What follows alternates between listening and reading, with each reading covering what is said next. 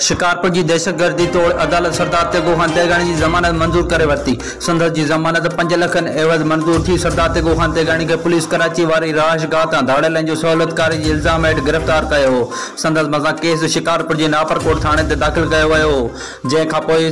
सरदार ते गुहान तेगाणी खे अदालत सगुरी डिस्ट्रिक्ट जेल हवाले कयो अॼु संदसि जी ज़मानत मंज़ूर थी वई, पर कुछ कागज़नि की खोट हुअण सबबि संदसि खे जेल माँ आज़ादु न कयो वो उन सुे जेल में आज़ाद किया वो रिपोर्ट अदिल मदल सिटी न्यूज़ शिकारपुर।